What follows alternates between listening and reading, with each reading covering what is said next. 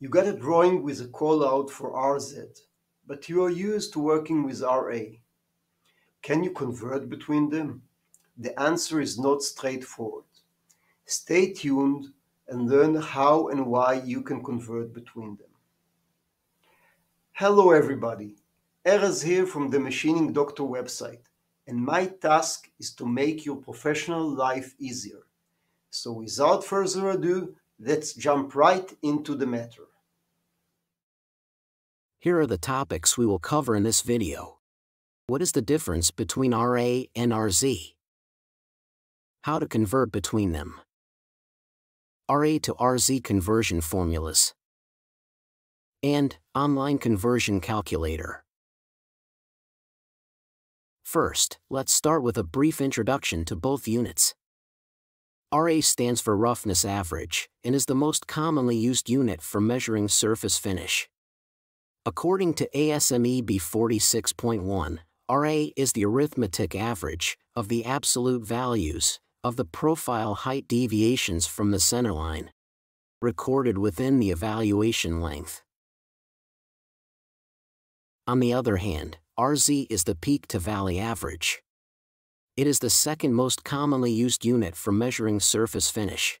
RZ is calculated by measuring the vertical distance from the highest peak to the lowest valley within the scan profile. The highest five peaks and the five deepest valleys are averaged. Therefore, RZ will always yield a higher value than RA. Now, let's address the question at hand. How to convert between RA and RZ? The answer is not straightforward, and a precise conversion, like you can make between kilowatts and horsepower is impossible, since RA and RZ are two different properties. It is like asking, how do I convert height to weight? You cannot. However, you can make a rough estimation based on statistics. A person with a height of 6 feet will weigh between 140 and 290 pounds, at a probability of 99%. We know he will not weigh 100 pounds, nor 400. Before we dive deeper into the video, I want to take a quick moment and remind you that your feedback is appreciated. If you have any questions throughout the video, don't hesitate to leave them in the comments below. I answer each and every question personally. The same logic is applied when converting RA to RZ, or RZ to RA. Based on statistics, we can forecast the RZ range for a specific RA with reasonable probability. We have two conversion formulas for RA to RZ. RA min equals 0.03 times RZ in the power of 1.3.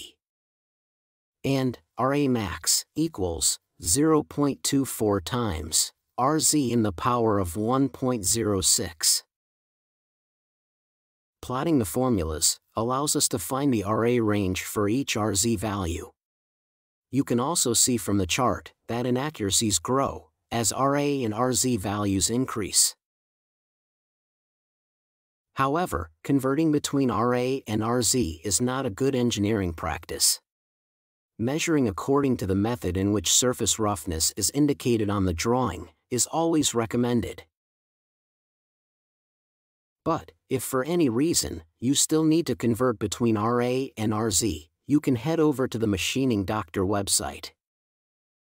Navigate to Calculators. And choose the RA to RZ converter. Select the units. Move the slider. And get the results instantly. So that's it for today. I hope you found the video informative and helpful. If you enjoyed it, please hit the like button. See you on the next one. Bye.